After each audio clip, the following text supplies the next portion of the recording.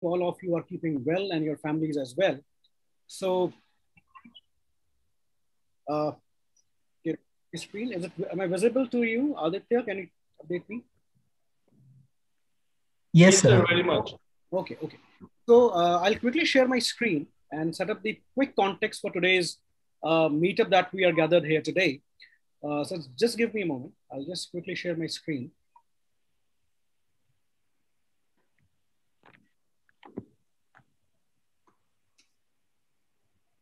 All right. Is it visible to you, Aditya? Can you see that? Those are not here. Okay. Now it's visible. So this meetup is all about the career in data science, AI, analytics, or the different dimensions of data science. What you all have been, uh, you know, been hearing and listening to these jargons around data science. So to uh, break that, you know, myth or maybe the doubt what we have got, because there are lot of individuals who have been coming to us and who have been uh, mentioning that they are from different backgrounds. Some of them are from commerce background. Some of them are core engineering background, like mechanical, electrical, but data science, since it's one of the most booming segment and the booming sector, so this question always hits everybody's mind that whether I am the best fit for that program and what skill sets should I have or do I have, or I have to upgrade myself so that the industries will pick me up with open hands or welcome me, me with open hands. So for answering all these questions and the doubts, we have today with us Dr. Vinay Kulkarni. So he is the director and mentor at Aegis School of Data Science and Cybersecurity. And he will be uh, discussing all these points and we will have a quick, uh, so we welcome to you, sir, on board. So, uh, and all the individuals who have joined us. So a very warm welcome to all of you again. And uh, a quick brief about Sir's profile. So uh, Dr. Kulkarni, he is the, as I mentioned, the faculty, the director at Aegis School of Data Science. He uh, comes from a very uh, sound background from PhD in computer aid manufacturing from IIT Bombay, BTech from IIT Bombay, more than two decades of vast experience he has gotten providing the tech solutions, designing and implementing for the complete automation processes. He has been guiding, mentoring the, uh, the, the uh, and consulting the data science enthusiasts like you who are among us in this virtual platform today, this evening, the practitioners as well as the working professional, the enterprises as well, on different uh, data science and AI skill sets uh, like Hadoop, Spark, statistics. Uh, he has uh, in the past he was also he has also worked as a VP uh, for innovation and incubations uh, for Geometrics Limited. So this is a quick brief about sir.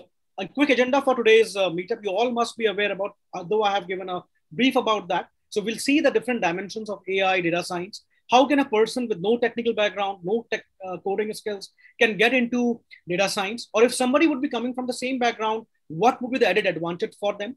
or uh, we will be talking about the different where the future is heading to there are individuals i believe in this meetup that uh, we have got the statistics there are individuals who have been working for the last 10 15 plus years and they are looking forward you have been calling us as well in between uh, so they have been working for 18 plus years and who are still uh, you know uh, confused that whether this is the right time they can make a switch into data science or not. So we will be touching up all these uh, uh, data points. And at the end so we will be having a quick takeaway session uh, that this in which uh, if anybody want to get into the data science what are the ways we will be covering up these points as well.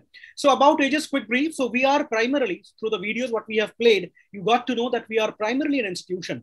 And we are not into uh, it's an autonomous institution uh, we are absolutely into disruptive technologies like data science ai machine learning cloud computing cyber security and we started our journey in the year 2002 with the support of bharti airtel because that was the same time guys when the disruption started happening in telecom management. So we always have been supporting the institution, the individuals like you and the companies as well across the boundaries in order to uh, provide the skill sets which is required for the current uh, the requirement what the companies have got nowadays. So now almost uh, eight years back, uh, we got into this discussion with IBM and we set up business analytics and IBM uh, labs, which we provide the participants so that they can work upon various uh, projects, and these are all virtual labs. And we have rolled out various programs that you have seen in the videos as well in data science and uh, core AI programs and cybersecurity as well. We are the official score partner with GMAT, TOEFL, and GRE as well. We introduced, we have introduced almost Asia's one of the largest event that is Aegis, Graham, Aegis Data Science Congress. So this is one of the largest event in the entire globe. You can go and I'll not talk about more on that. You can go and check it out on uh, the Google and the YouTube. This is the mega event. All the top-notch companies, name it, who are all the CTOs, CIOs, they gather together and discuss about what is happening, the innovations in the Data Science Congress. We initiated almost a decade back Aegis Graham Bell Award. That award is known as Oscars in Innovation, in which we do reward the companies who are coming with various innovations. So you can go through these uh, platforms and we, you will get more idea about that. Uh, we had the we had it with the Industria, uh, the ND Academy Association over the past uh, decades and the years time. So IBM, I already talked about, they joined hands with us. With them, we have established state-of-the-art virtual cloud labs on analytics and cyber securities and cloud computing. And these are all cloud high-end labs. NVIDIA, most of you must have heard of NVIDIA. They are into graphic cards and GPUs, but over the past few years, NVIDIA, they have become the world largest leader in deep learning and AI. They have also come, they join hands with us. Uh, uh, so UBTech, if you come to our institution, you will meet with a lot of uh, humanoids and the robots whom we are training upon on various skill sets as well. So robot UBTech is a one of the largest, uh, you know, uh, the robotics and AI company. They have also joined hands with us. AWS, all you must have heard of Amazon Web Services. They have also come, they join hands with us. With AWS support, participants, they will get additional access who join the program at Aegis, who work with, with Aegis. They get additional access on the entire Amazon labs to work upon various projects. And there are thousands of dollars uh, participants will get on the various courses, which they use it for the reference material, they can use it. So it's a quick academy and the industry collaboration that we had at. And these are the programs we have rolled out. This is the full-time data science and postgraduate program in data science, business analytics, and big data. It's an on-campus program. Uh, looking at the pandemic situation, we're offering the live interactive mode of delivery. Similarly, we have rolled out postgraduate program in cybersecurity. These are all uh, programs which are equivalent to masters uh, live interactive and full time. We have also initiated core program in applied AI, machine learning, and deep learning for those individuals who are uh, completely looking forward to get into core AI and machine learning, high advanced level of AI and uh, enabled uh, systems, and they want to work in these industries. So these are the different uh, programs what we have rolled out. So it's a quick brief about the program. We are recently we are going to launch full stack development program as well with, the, with IBM. All these programs we offer with those giants, uh, IBM and uh, what I have discussed in the early slides. So without any further ado, I so let me stop my screen here. So may I please invite uh, Dr. Kulkarni on the virtual dais. Very welcome to you, sir. And hopefully we have the candidates, they are still joining in. So over to you. The dais is yours, sir. Thank you. Thank you, Ritin. Uh, can you confirm I'm audible clearly? Yes, yes, very much. We can hear you, sir. Okay. Good evening, everyone, and thanks for uh, joining in today. I know this is a question that is uh, foremost on people's mind. There is so much being talked about uh, artificial intelligence, machine learning, and uh, I have my background. So, am I appropriate for the field, or is the field appropriate for me? Uh, so see, these are some of the questions uh, that uh, we will take up and hopefully by the end of the session, uh, most of you will have some answers to your uh, questions, okay? let me share my screen first. just give me a minute.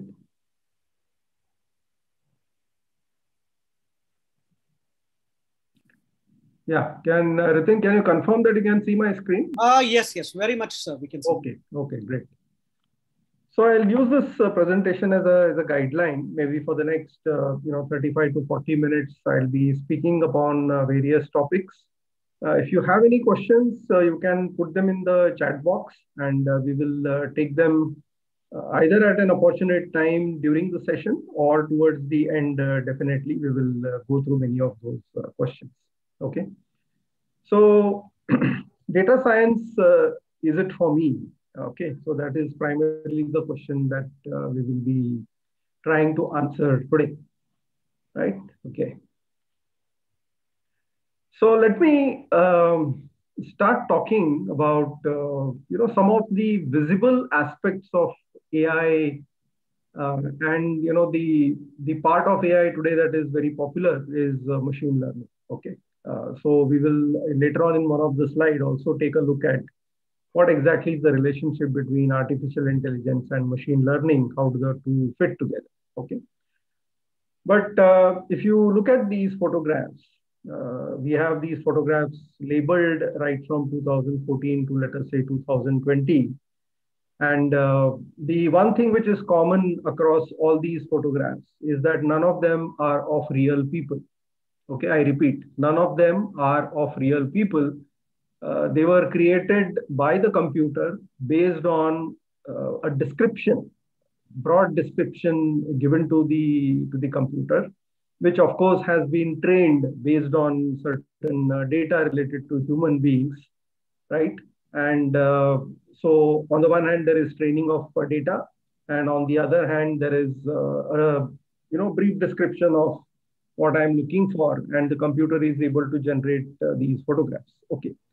The point to be noted here is that if you look at the photograph uh, from 2014, you see that it is it is a bit grainy, it is a bit fuzzy, it's not very sharp. Uh, but look at the photographs that has been generated in 2020. Okay. Now, by the way, these are generated by uh, you know AI systems called as uh, uh, generative adversarial networks. Okay, which is one of the advanced techniques that are being used today for uh, image manipulation, uh, you know, enhancement of image quality and so on. Right. Okay. So this is just to give you a blink, glimpse of what AI and ML is capable of today.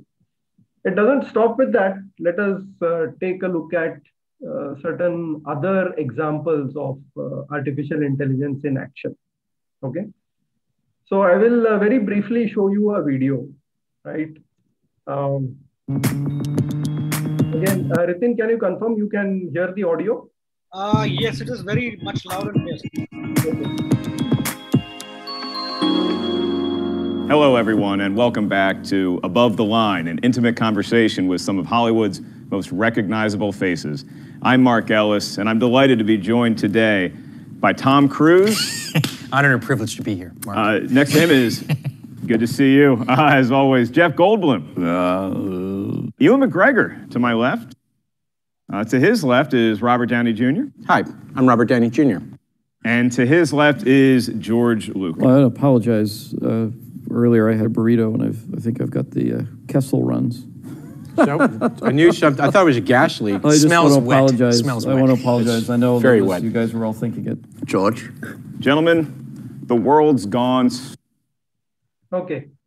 Well, the interview is uh, pretty long, and uh, uh, you know those of you who are interested can uh, uh, you know take the link uh, later on. But the interesting part is that none of the characters in this interview are real.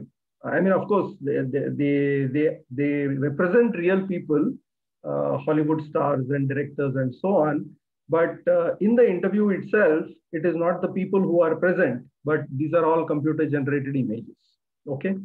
And uh, those of you who can recognize some of those actors, uh, you know, very popular uh, actors, and you can see that their mannerisms have been uh, duplicated over here.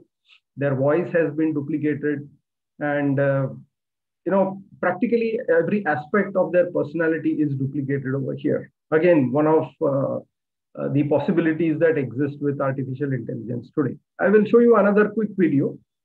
Uh, again, a very interesting video. This time it is from Boston Dynamics and it shows a robot in action.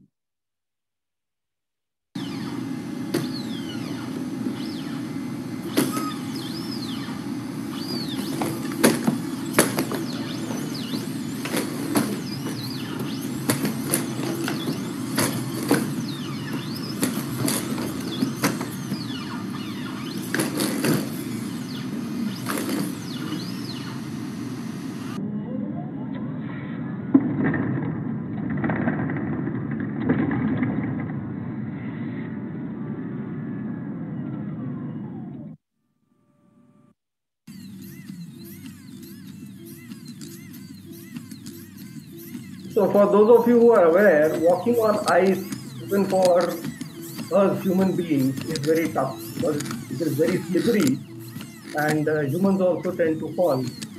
Take a look at this robot, which is balancing itself wonderfully on this very slippery surface.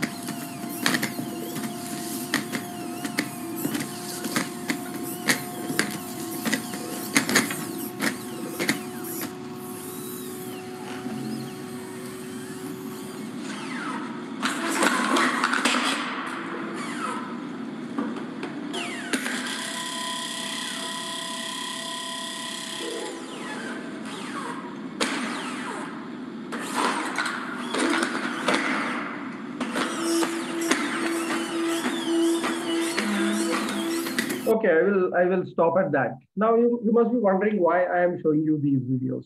Okay, now these are some of the advanced uh, applications of uh, artificial intelligence.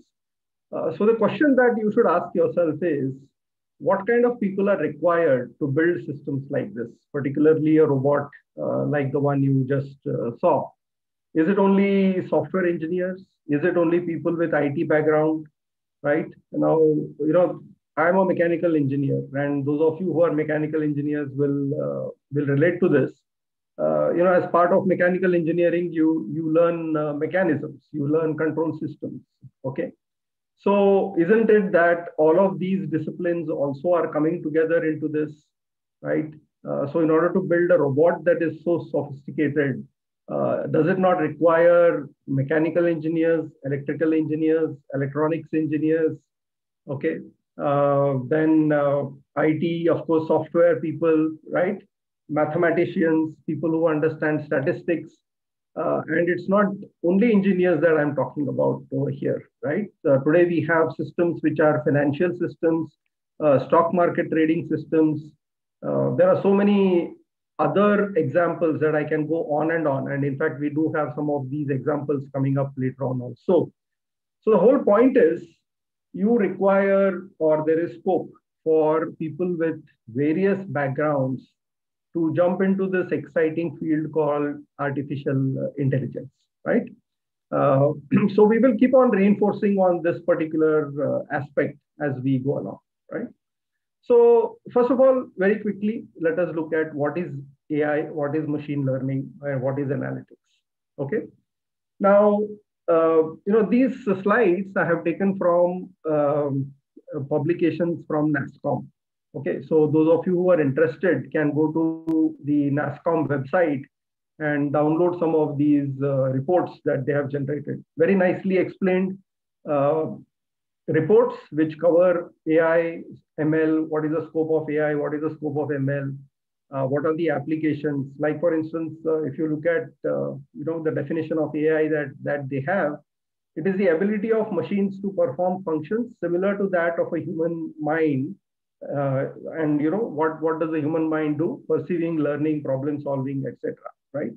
And uh, if you look at specific application areas, you have advanced analytics, natural language processing, computer vision, robotics, process automation, speech recognition, you know, some of uh, some examples of these you have already seen in the videos that I have uh, shown you, right? And if you go down below further, uh, you have the applications exploded to include uh, many more, uh, you know, sub areas, predictive modeling, demand forecasting, and then you can start relating it, relating it with uh, specific, you know, application areas, right?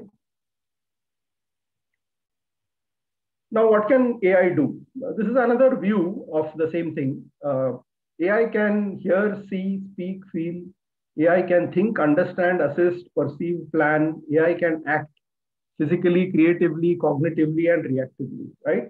And then you have uh, the various areas written under here, natural language processing, audio and speech, machine vision, navigation, visualization, and so on and so forth, right?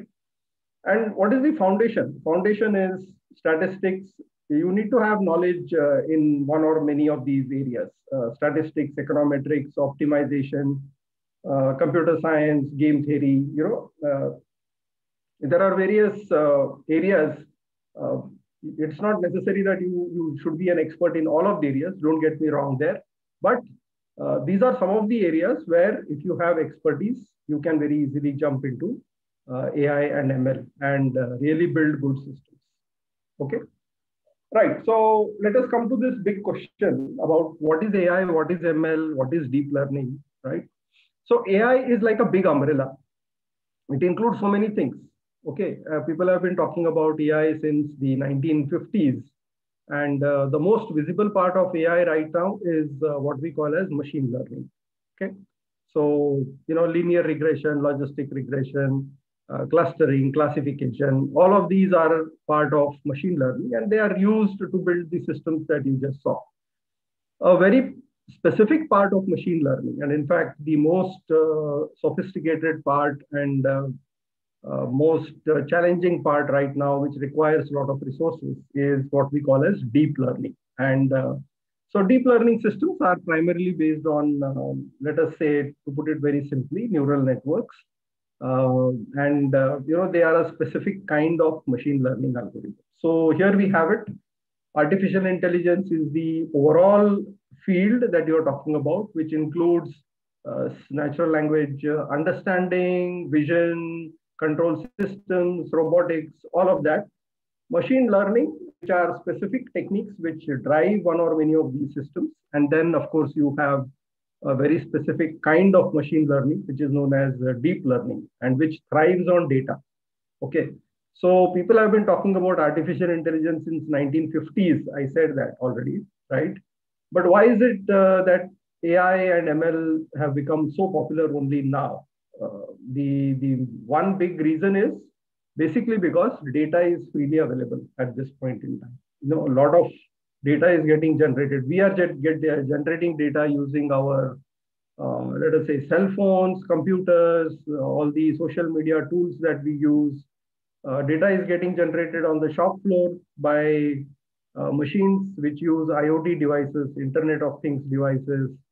Okay, in general, the internet has enabled or it has actually democratized uh, the process of data generation and uh, anybody and everybody can generate data. And this data hides a lot of important aspects about our personalities. And uh, you know that is the reason why, in general, AI and ML is uh, right now thriving so much, just because data is available. The mathematical basis of all this have been in existence for more than 70, 80 years, right? And uh, they were all waiting for data to be available, which is now available. Okay, what is data science? Well, it involves a lot of uh, hard work, a lot of steps. Uh, it starts with, uh, let us say, you start working on a problem. So you have to define the problem very clearly. You have to acquire data. Many a times, uh, you know, the data as you need it will not be available. So you may have to get more data. Bulk of the time you spend cleaning up the data because, you know, finally AI and ML uh, systems, they, they are computer systems and they, they require data to be in a very definite format uh, without containing any dirt in them, so-called. So we have to spend a lot of time cleaning the data, right? Then you go through a process of uh, data analysis and visualization, some kind of data processing, where you understand the data. And after doing all this, then you come to modeling, right? So when I talk about machine learning, machine learning is nothing but uh, what is what is being done inside this box called as modeling. Okay. So once you do this, you come out with specific machine learning algorithms, and uh, then you focus on process automation. So like for instance, if you want to control, let us say, a power plant using uh, machine learning, right? what you will do is you will first, first of all, get the data uh, from the various sensors uh, and various processes that are active. You pass it through this, these steps, data cleaning, visualization, modeling, right? And once you generate a model to be able to predict the health of the entire system, whether there is going to be a breakdown of particular machine, okay? So all of this can be done using the data that is available, right? So this entire process now needs to be automated.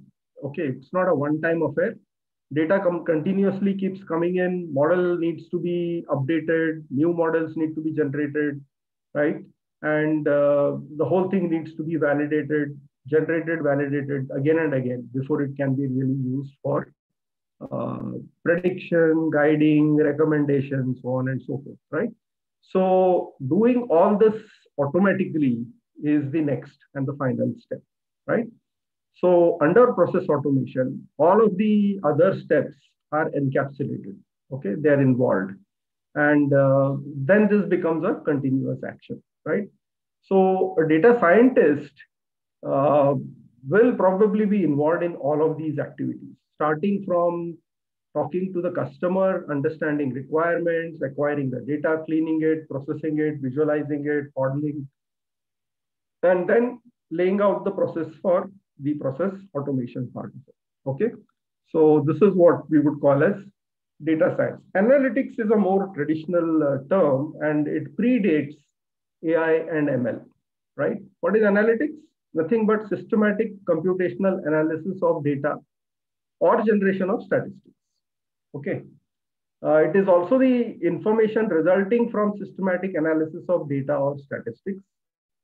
It also involves communicating meaningful patterns in data to the stakeholders, right? And uh, drawing conclusions based on, uh, you know, all the other steps, right? So analytics basically deals with the processing of data and the processing of data in, in a particular way uh, falls under the domain of machine learning, right? So you can say that machine learning or anything above that, you can call it as advanced, advanced analytics. Right? Finally, you come out with uh, certain trends and patterns uh, which are able to predict based on which you can make recommendations and so on, right? So if you want to put it all together, uh, you have analytics, you have machine learning and AI, advanced analytics at the center of it is data science. So data science, as we saw, involves all of this, right? And what are the disciplines that are, are touched by, by these uh, areas?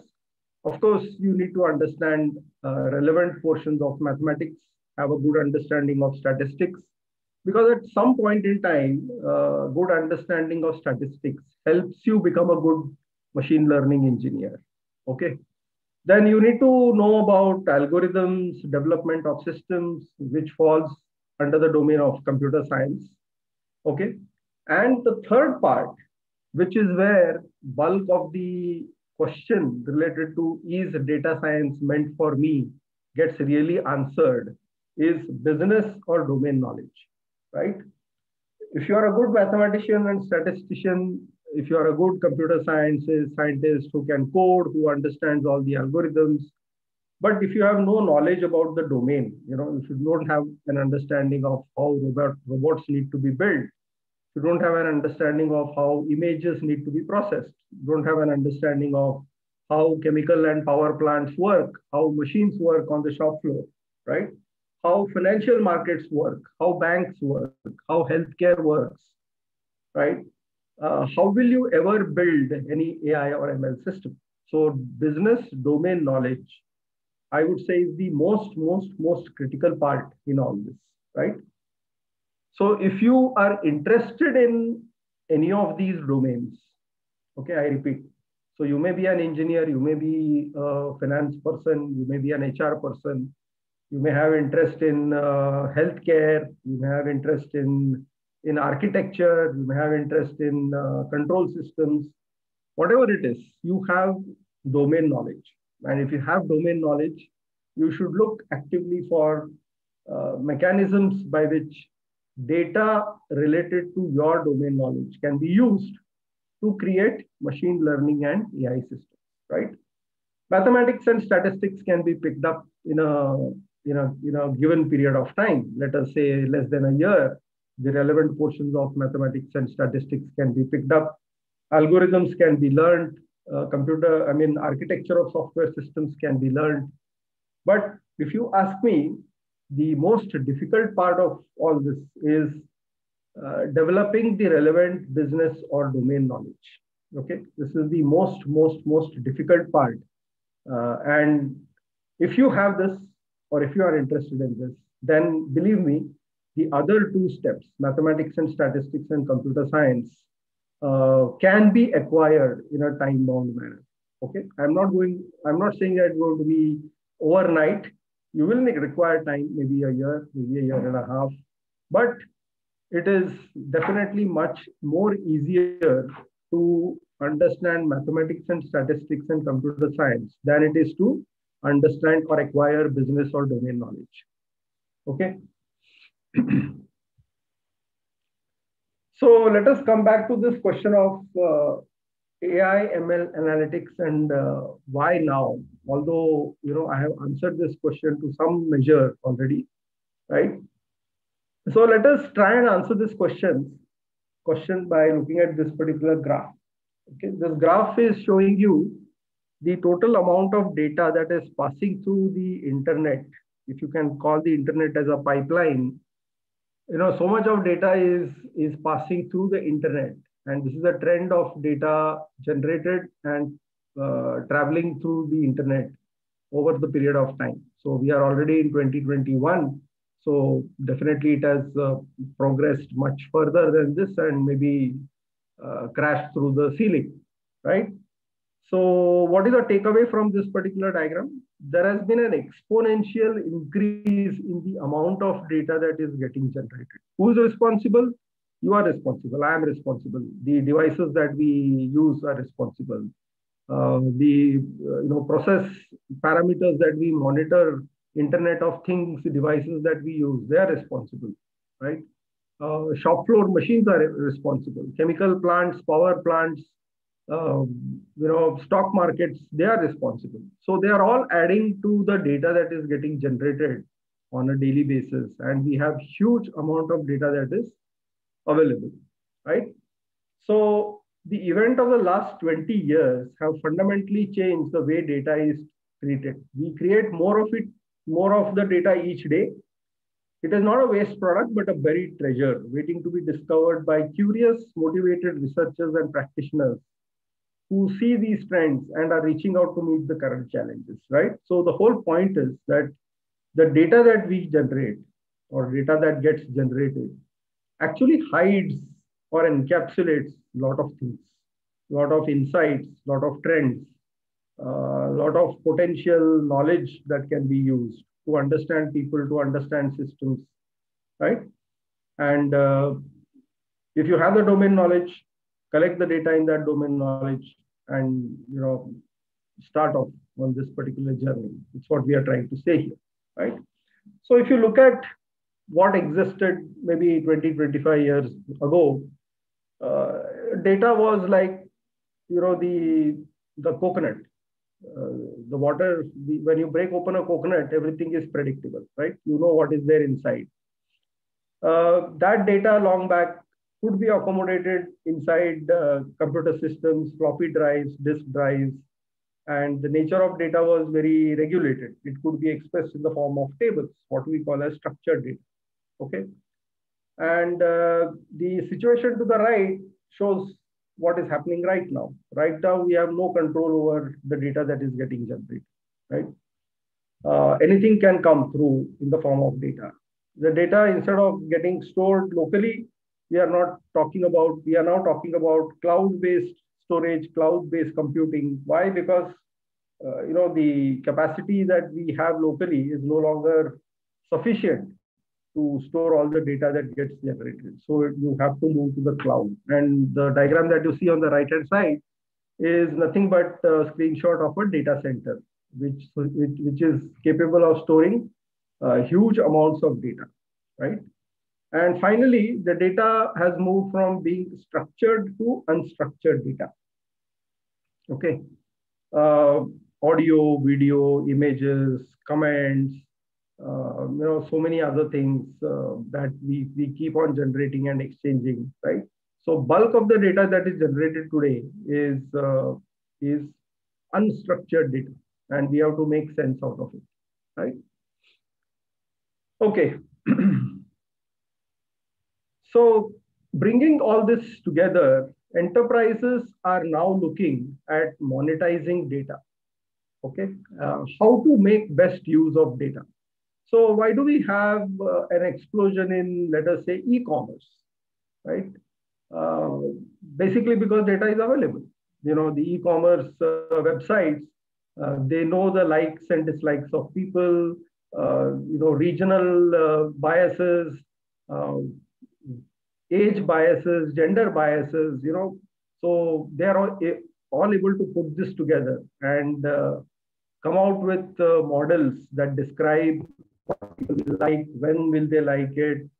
And uh, on the one hand, on the other hand, you know, using advances in uh, supply chain management, which also includes AI and ML, by the way, they are able to put these things together and uh, you know come out with uh, companies like Amazon, Flipkart is what I'm talking about. Okay, but it's not limited to this. So, so this what this slide is trying to say, tell you is that companies are bullish on on the data that is available and they want to make use of that data, right?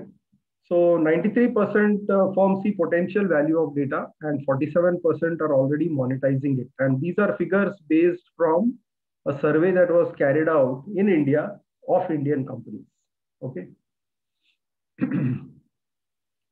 now let us understand global trends. And at this point in time, you can make a note of this particular report, uh, the Artificial Intelligence uh, Index uh, report uh, you know, generated by the Stanford University. So you can Google this and this is freely available for download. Uh, fantastic report. You can go through it. It will the, you know, improve your understanding of what is AI, ML, and uh, what is data processing all about, right?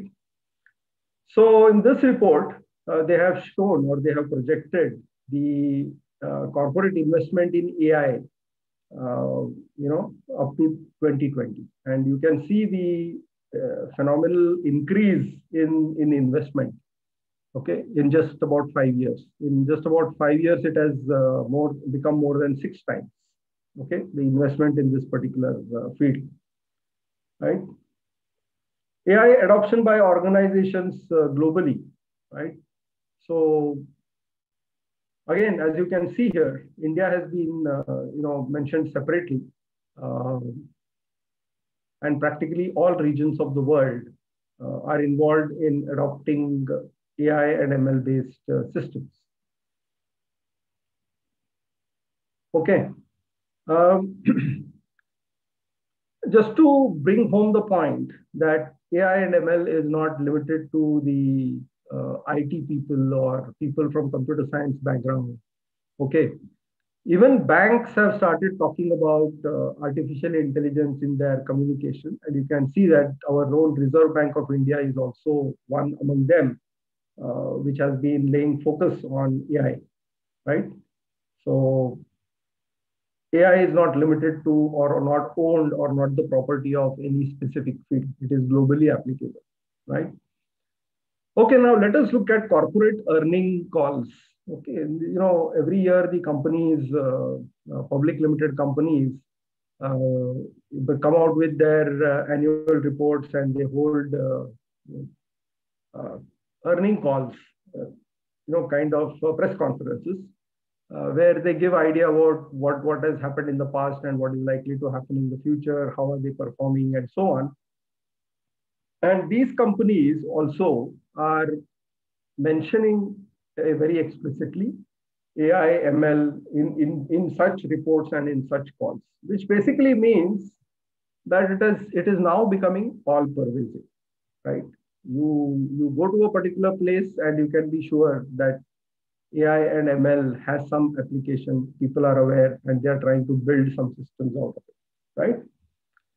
Which are the countries of the world uh, that have embraced AI and ML. Okay. So other than the dark shaded regions, all other regions of the world, which includes India, by the way, and India has a published AI policy, which was published in 2000, I think, 18 by the government of India, right?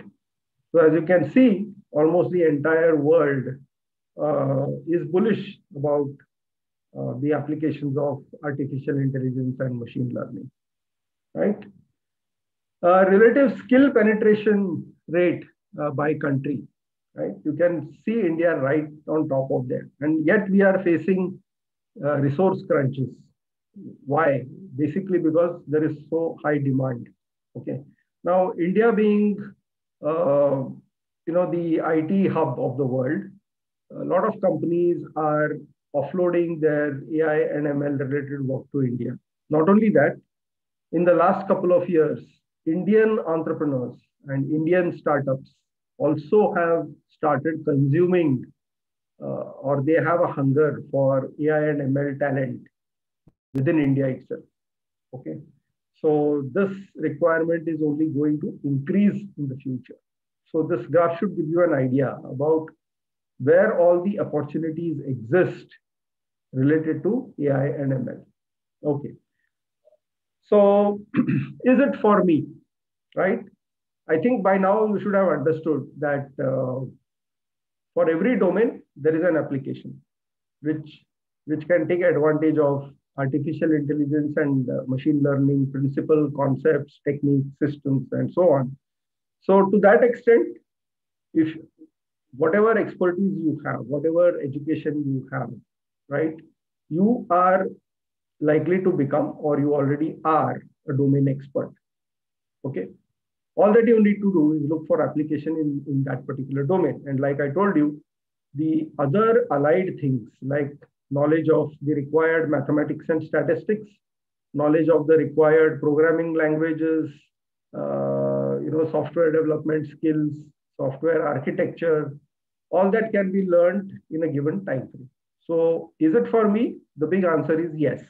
Whoever you are, whatever be your background, you can be dead sure that there is an AI and ML application relevant to you and probably waiting for you to jump into it, right?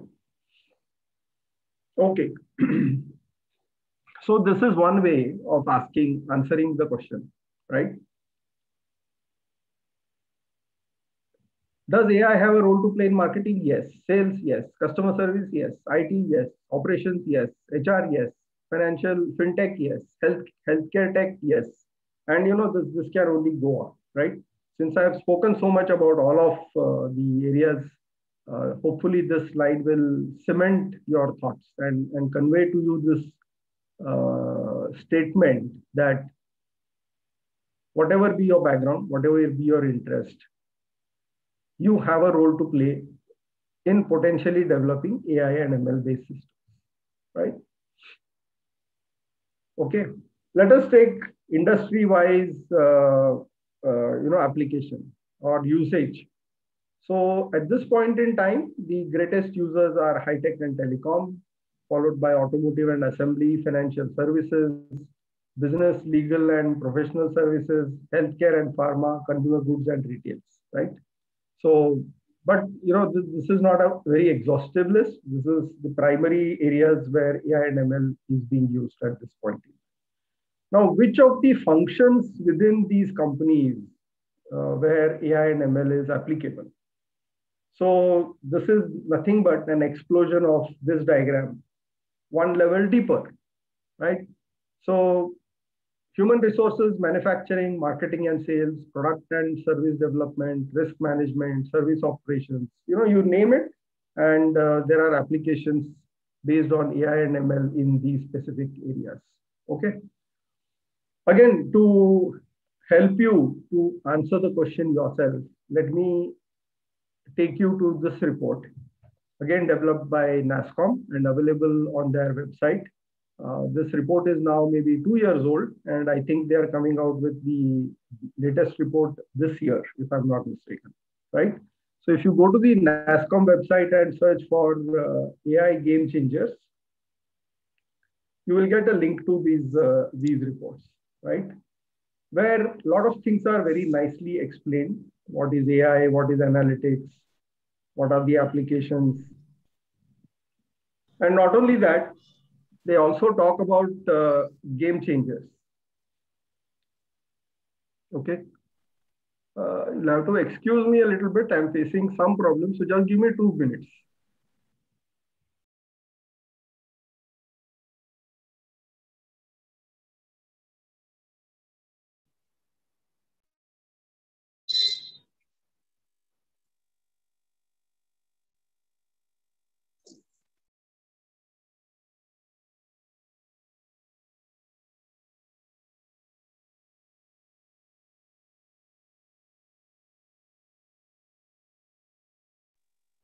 Hello, you are there, sir? Hello. Is it my video freezed? ID, can you help? Sir, it seems that uh, Vinay is not audible to me as well. Okay, some video, I believe.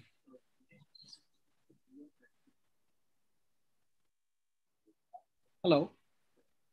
So he's there in the meeting or maybe some network issue is there, I believe.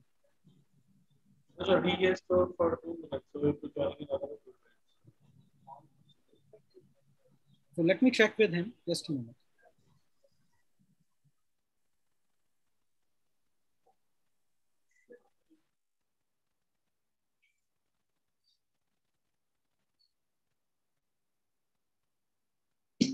Uh, Ritin, am I audible again? Uh, yes, sir. Yes, sir. We can hear you now. Okay, okay. I had uh, some internet issues. So, Okay, okay. Sure, sir. Sure. We can continue. Yes. yeah, okay. So I'll keep my video off uh, for some time at least. Yes, sir. So at least we'll have a will have a better bandwidth. Right. Yeah. Yes. yes, yes. Okay. So I was talking about this, uh, uh, you know, NASSCOM report, which has which talks about the top 50 game changers, and they have covered so many use cases uh, in that. You know, by and large, the use cases deal with you know the major areas that we have already gone through. Okay.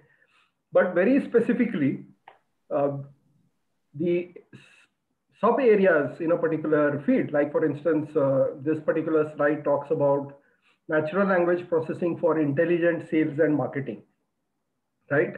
What are the problem areas? How they can be solved and which are the companies which are working in, in this uh, particular area so this is the nature of the report that uh, has got generated. Right?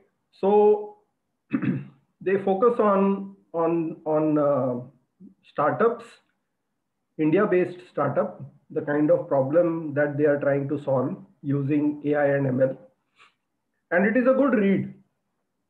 And it, it is very important to go through such reports so that you have a very good understanding of the various applications of artificial intelligence and machine learning. So again, so that you, you can uh, make a note, uh, the link is given at the bottom.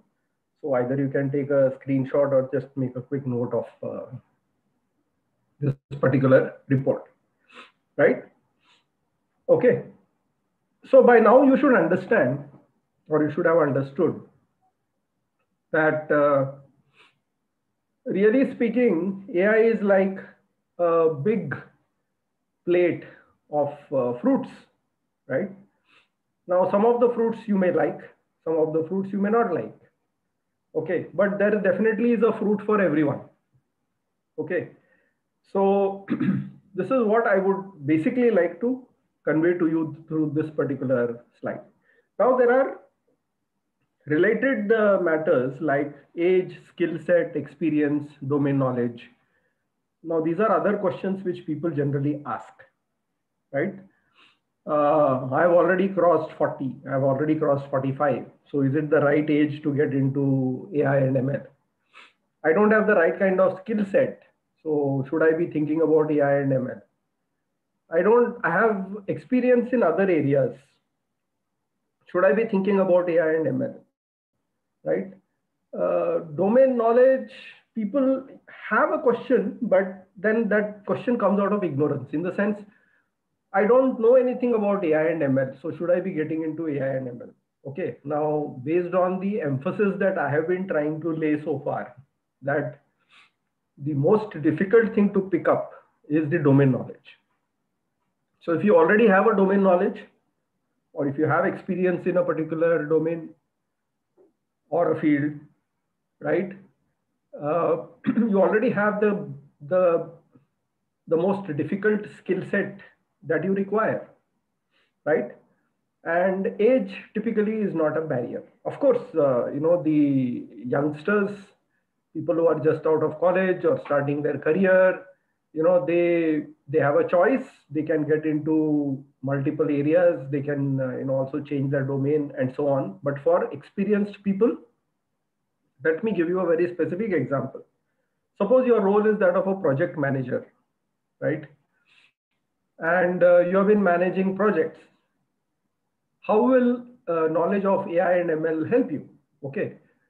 Now, one thing is learning AI and ML to be able to code and develop systems in AI and ML, right? But with your experience as a project manager, uh, you know how to manage projects, you know how to build teams, you know how to communicate within the team and communicate with the with the customer. You know how to ensure timelines are met. You know many things, right? So having knowledge of AI and ML will help you, in fact, and and you know once you do that, you should not try to become a a programmer, a full-time programmer yourself, because you will be doing injustice to yourself, right? So what can you do as a project manager? Now you have acquired artificial intelligence and machine learning knowledge, skill set. You have done some projects yourself, right? Now you have potent weapons in your hand. You can engage in fruitful conversation with the potential customers. You can constitute or build your team with capable people and since you will have uh, not only the domain knowledge, but also knowledge about AI and ML, the team will look up to you. The team will respect you, right? So you can become a much, much better uh, project manager in the area which delivers AI and ML based solutions, right? You may not yourself sit and code AI and ML algorithms, or you may not sit and uh, acquire data and clean data, but you understand the entire process, right? And that is where you will add value. Okay, so that, that is just one example. So similar questions you can ask for yourself. You know, I have XYZ age, I have XYZ experience, right? Uh, so how can I leverage my age? How can I leverage my experience? How, may, how can I leverage my domain knowledge? And get into this exciting field of artificial intelligence and machine learning. Okay. Now, just to paint a wide picture, what are the skill sets that are required? So again, these are based on uh, uh, you know the data science jobs and what they put out as part of their requirement, right?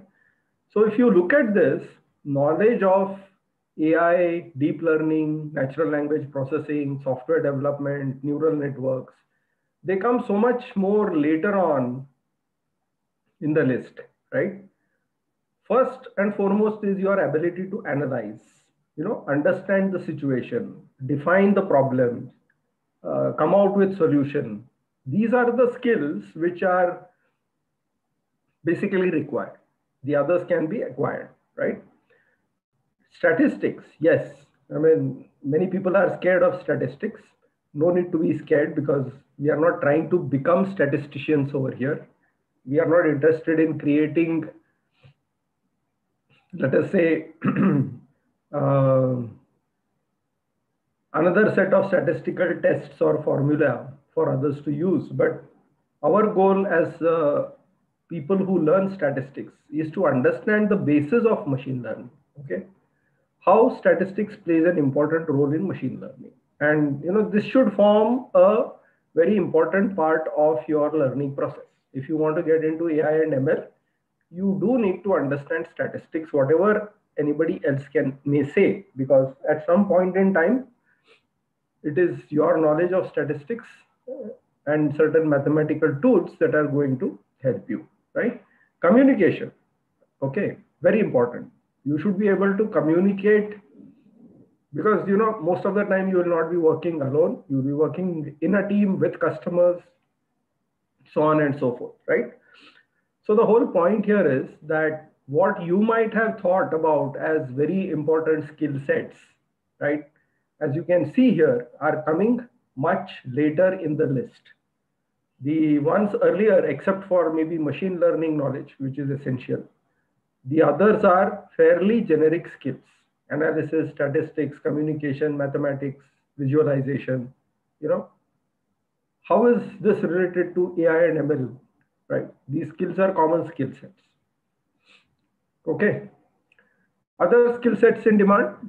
Yes. Now, very specifically, if you want to talk about AI and ML and uh, you want to do things hands-on, then these are the skill sets that one may need to have.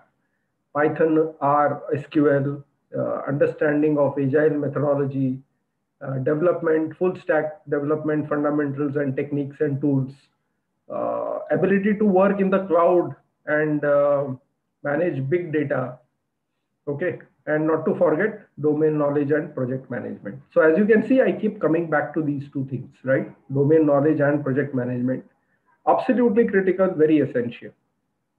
I should add, I think, communication also to this, right? But I don't have the background. Well, yes, uh, as you saw, uh,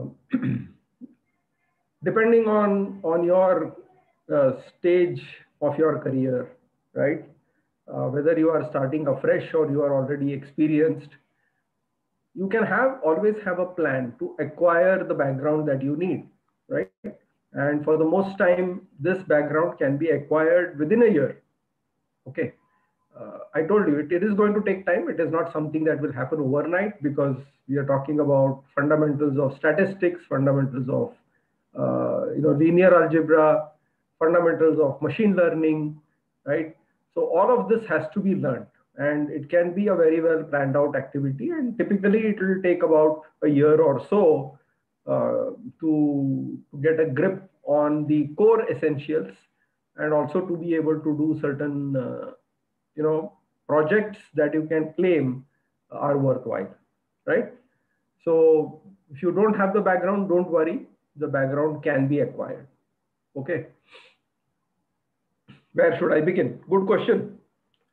We are in the age of internet. Everything is available free. And uh, the only problem is it looks like this, right? Looks like a maze.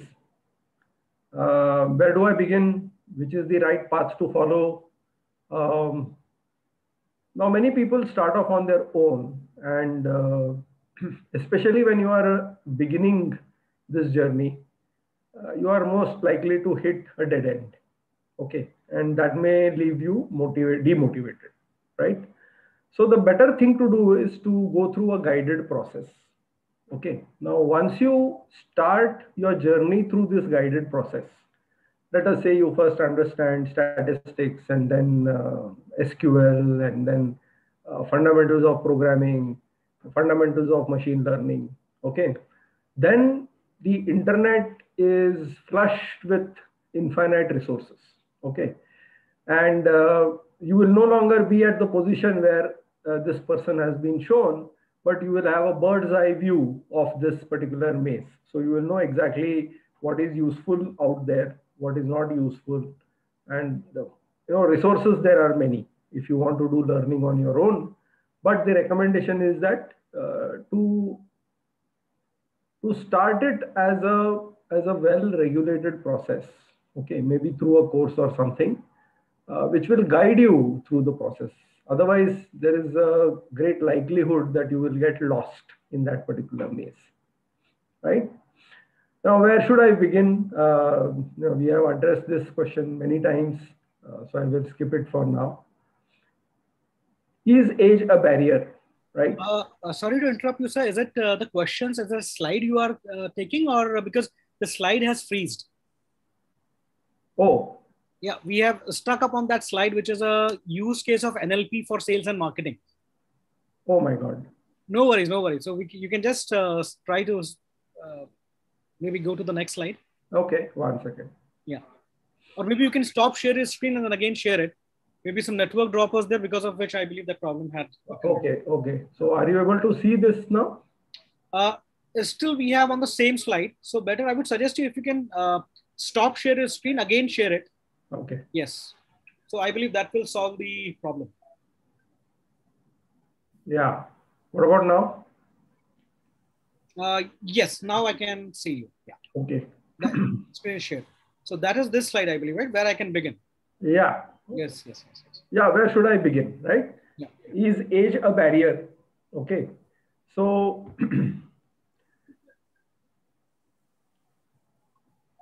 I hope this, this figure is self-explanatory. Age is not, not at all a barrier, okay? Now, in our experience, and uh, I'm talking about ages and uh, you know other uh, institutions, uh, this is typically the distribution of, uh, if you can call it, students of AI and machine learning. Uh, like I was trying to tell you, of course, the the bulk of the people are are concentrated in the uh, you know mid 20s or late 20s uh, they are at the beginning of their career or a few years experienced. But it's not that experienced people have not taken the plunge into this new area. Of course, they have consciously leveraged their existing knowledge and experience, right? But you do have people with 40, 50, 60, and you know, just to give you examples, we've had people with uh, 60, 65 years of age uh, also enrolling as students in in uh, you know the course that is being offered by Aegis, right? So age is typically not a barrier. You know, at that age, probably the goal of the person was to uh, create a startup of his own, right? And with that goal, the person uh, enrolled.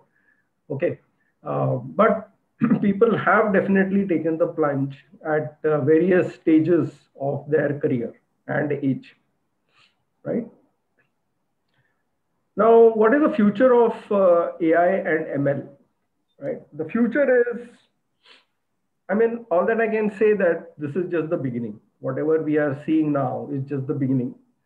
Uh, data is being created at an unending rate, at an ever increasing rate. And uh, the applications also have been rapidly making progress.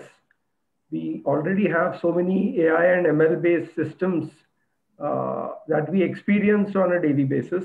So maybe I can just uh, give you an, an uh, you know incident over here that one day I received a phone call from my bank, and uh, you know within the first 10 seconds I could make out that uh, I am talking to an automated system, right? But it was not a recording. It was actually interacting with me. So it was asking me questions, and based on my answer, it was also responding uh, to to my queries and uh, my statements that I made, it was very clear to me that uh, there is an AI system at work in the background. And it introduced itself as, uh, you know, my, uh, an avatar of my relationship manager. Okay. So normally, if, if it had been a recorded uh, message, I would have kept the phone down. But uh, since it was not a recorded message, and it was an interactive uh, session initiated by a computer speaking to me in my language and waiting for my responses and responding intelligently to my questions and uh, queries that I had. Uh, it kept my interest. Okay. So the point here is that we have already reached a level of sophistication where um, we are seeing AI and ML based systems all around us, whether we are purchasing online, whether we are booking uh, tickets, airline tickets, uh, whether we are interacting with our computers, okay, whether we are typing email. Uh, these days, you see that emails uh, complete themselves automatically or the statements automatically, right? So this is just the beginning, and uh, there will be obviously more applications that will be coming in, more platforms will get generated, more algorithms will get generated. Okay, uh, more and more applications in specific domains will get created. And of course, the need to program also progressively will go down. Okay, why? Because we have tools like AutoML, uh, which are trying to fill in the boot, saying that you don't have to program everything uh, the techniques are fairly standard. Uh, you have to focus on the application, the data that is available, and maybe prod us in the right direction. And uh, you know, tools like AutoML will will do the bulk of the coding for you, and run the algorithms in the background and generate results for you. Okay. So I think with that, I will uh, like to stop here and uh, focus on uh, questions. Um, and I already see some questions. So, Ritin, you would want to uh, take? yes, yes, yes, very much. So, uh, I can see that a lot of individuals are participating, and they have started a lot of asking questions as well. Yeah, and I believe uh, all of you are uh, uh, most welcome to ask your questions because we have started off with this the Q and A session. Uh, so, the first question I, am taking from uh, Sai Srikar, I believe he is asking.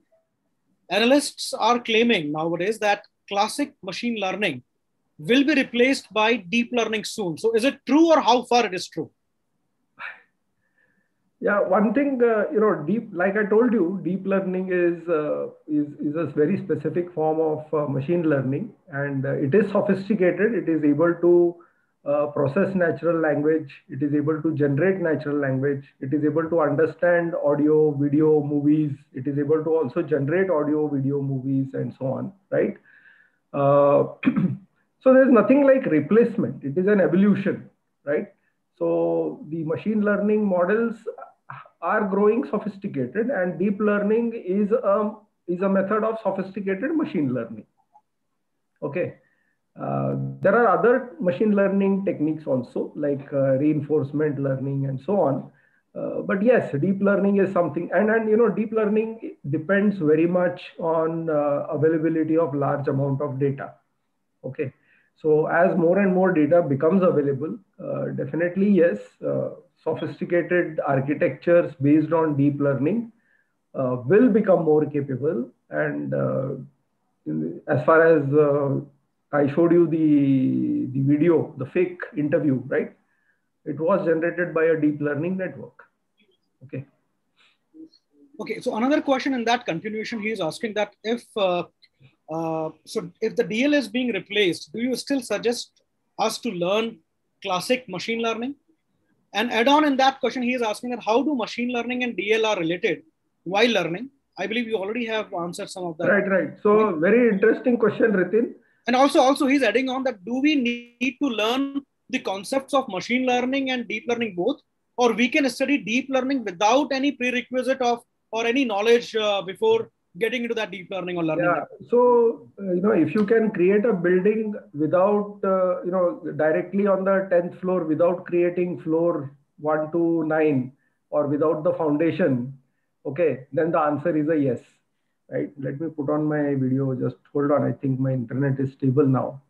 Yeah so the the reason the way i would answer that question is uh, you need foundations right uh, you can't generally go to 12th standard without passing through first to you know 11th standard there is a reason why it is being done right uh, i have been emphasizing on statistics i have been emphasizing on uh, domain knowledge i have been emphasizing on fundamentals right uh, otherwise what will happen is you will become a technician okay you will know that uh, इधर खिला है उसको हथौड़ा लेके मारना चाहिए right अभी वो कितना मारना चाहिए, कितना फोर्स उसको अप्लाई करना है you know if it is a stone wall what you should be doing if it's a brick wall what you should be doing if it is made of foam what you should be doing right so you know also such equivalent decision have to be made in machine learning okay so you know when you start your journey in machine learning and since you are talking about deep learning believe me that unless you understand statistics, unless you are comfortable with some of the terms that you learn in fundamental machine learning courses, you will really not be able to work with deep learning uh, architectures. It is very much essential. Okay. So, one, it is not possible. Second, don't do it. Okay, don't think you will be able to understand deep learning without understanding the fundamental machine learning algorithm. Okay, so uh, another question, uh, somebody is asking that what exactly differs coding and programming? Basic question, but if you can give a quick. I don't know how to. coding and programming. Okay. well, in order to do, in order to program, you need to code. I would, I would just put it that way. Right. Okay. So programming is a, is a term and coding is a very specific action. Okay. So I can say that I know programming, right? So which means I understand what, what is meant by uh, variables, what are control structures, what are data structures, right? What is a, what are loops, so on and so forth. Okay. And the act of writing a program is known as coding. So if I actually sit down and, and write a program, I'm doing nothing but coding. I believe uh, Sai uh, you might have got your answer. So another question, uh, Moshin Sheikh is asking that uh, will there be ethical problems that uh, might arise as this technology advances? So most of our session, this question, most of the individuals are very much worried about the consequences of these technologies because AI can uh, take the decisions on it itself. This is what he is uh, looking forward to asking. Yeah, ethical questions will always be there, and uh, that is where you know uh, we have governments and international regulatory bodies, uh, you know, coming together to break their head over this. It's not just about AI or anything, right?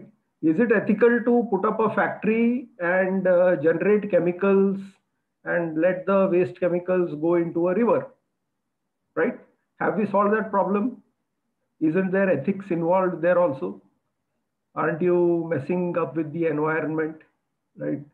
So it's not something very specific to AI, ML, or anything. It is a general question. And yes, those questions do exist uh, even or do come up even in the context of AI and ML, right?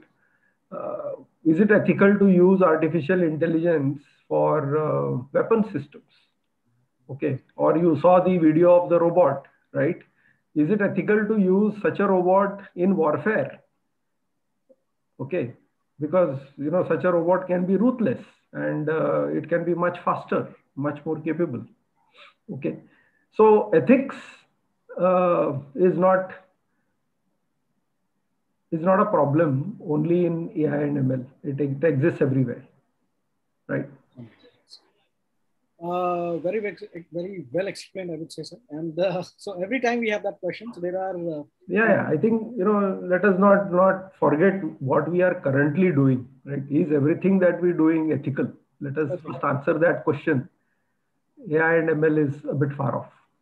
Another uh, question we would like to take that many uh, somebody is asking. So uh, many platform online platform teaches us concepts like operators, data types, sequences, and basic Pythons and concepts like decoration, modules, file handling as advanced Python.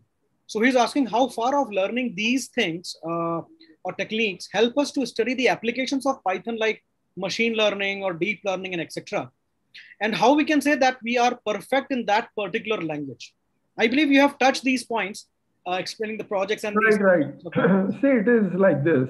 Uh, you know, when when you are dealing with data, uh, you frequently need to slice and dice the data. You will be using uh, tools like Excel, for instance, you know, if the data size is small. Okay. And uh, when you, if you remember the data science uh, block diagram that I showed you, finally at some point in time, you will come to automation because you would definitely like to put the machine learning models that you have created, you would like to really use it in a live and running system. Okay. so the answer here is that uh, the knowledge about programming systems like Python or, or any other language is they are used to very, very, you know, different degrees at different stages, right? So if you are in the initial stages where you want to deal with, uh, let us say, data visualization, uh, cleaning of data, uh, or even building simple models, right? You don't probably need uh, 80 85% of uh, the language facilities. Okay you can make do with 15 to 20 if you know for loops if you know uh, you know data basic data structures basic control structures right you can do all these activity. But if you want to build foolproof systems you know which will not crash which will ensure that uh, they will keep running for ages together there is no memory leakage right at that point in time, all these advanced things, so-called advanced things, will definitely be required. Okay. So I will not say that uh, in order to start off with uh, data science, you need to be an absolute uh, expert in Python. I will not say that, right?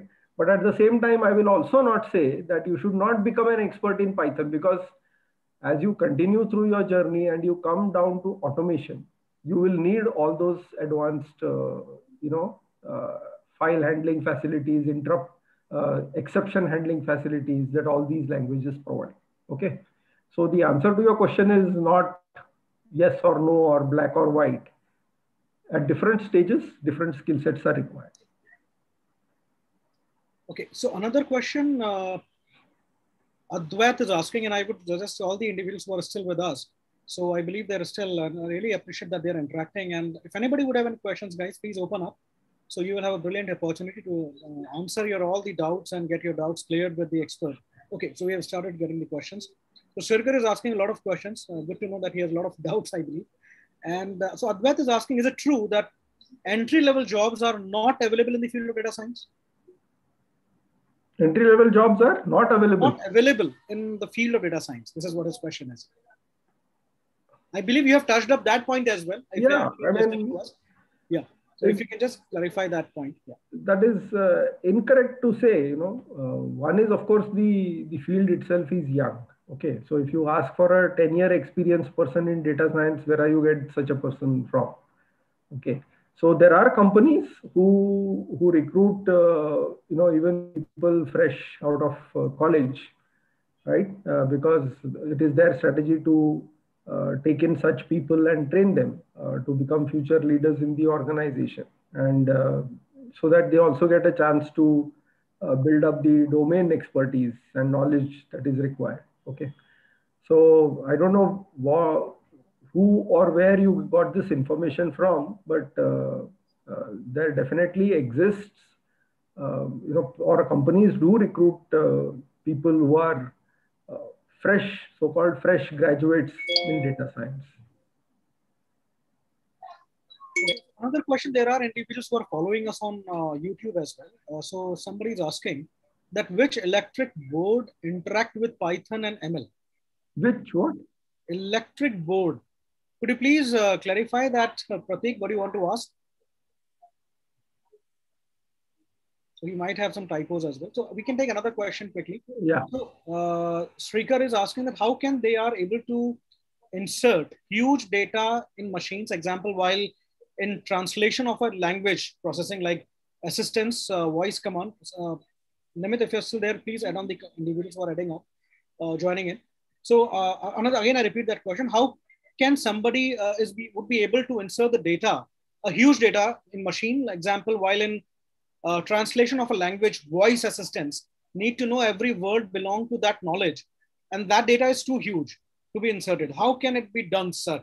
So maybe a practical. Uh, yeah, so uh, Sai here, you know, there are specific architectures which can ingest huge amount of uh, language data and uh, you know build up uh, memory internally, okay, uh, and set up context. So, uh, you know, so if you, for instance, uh, if you are using, uh, uh, let us say, specific tools like the mailing system these days, Gmail, for instance, as you start typing your mail, it, it you know, completes the sentence for you. Now, where is this knowledge coming from? It is the, coming from the huge amount of email data that uh, you know, Gmail or even Outlook, uh, these are sitting on, right? So they have built systems. Uh, you know, some of the, uh, the, systems could be built based on uh, LSTM uh, networks, for instance, right? So they have the capability to take in really large amounts of data. In fact, they need large amounts of data so that this learning happens uh, internally. Now, by the way, learning means it is nothing but uh, links getting generated with the probability associated with the links and so on. Okay, so finally it comes down to statistics, right? So there are specific architectures which have got developed for language-based processing. There are specific architectures which have got developed for image processing, right? Uh, so you know, based on a simple uh, textual description, these networks can generate crystal clear pictures like the ones I showed you when I started the lecture, right? So these are all systems which uh, thrive on huge amount of data. So I will not get into the details right now, but these are architectures, very specific architectures for handling the audio, video, text, and uh, generating the context in the process. Um, muted. Okay, okay. So I believe you have answered it very well. Again, a question will be coming up. I my number of questions doesn't take your time. uh, sir explained it so well. I thought he will clear my doubts and which I haven't anywhere before. Thank you for answering with patience. Okay. So that's why that session was uh, planned and designed, Srikar, to uh, get your doubts cleared. And thank you so much, sir. And thank you so much. I believe we have answered most of the questions. And uh, thank you for taking the time and interacting with those uh, young budding data scientists, I would say. So who are the data enthusiasts? And some of them, I believe, are working in that data science fields as well. And I believe most of your doubts has been uh, uh, have been cleared. And still, if you would have any questions, you can write to us. And uh, I'll share quickly my uh, screen and you can reach out to me or maybe my team if you would have any questions. If you want to ask further, you can write to us. We would love to answer your questions and if you doubt, if you would have any doubts. So again, thank you so much guys for joining us for this live interactive meetup. This is my coordinates and my team coordinates as well. So you can reach out to us if you would have any questions. You can jot it down. I'll just make it full screen. So uh, I'm Ratan, Ratan Joshi. And uh, again, thank you so much, sir, for uh, this wonderful session. and again, uh, thanks for the patient listening of the audience. What we have, what still we have around 46 candidates, I believe. So it's a great session. Thank you so much. Thank you so much, guys, for attending. And thank you so much for taking time and clearing the doubts for all the individuals. My pleasure, Ritin. And uh, thanks to everyone. Hope your basic questions have been answered. Thank you. Thank you so much. Thank yeah. you so much.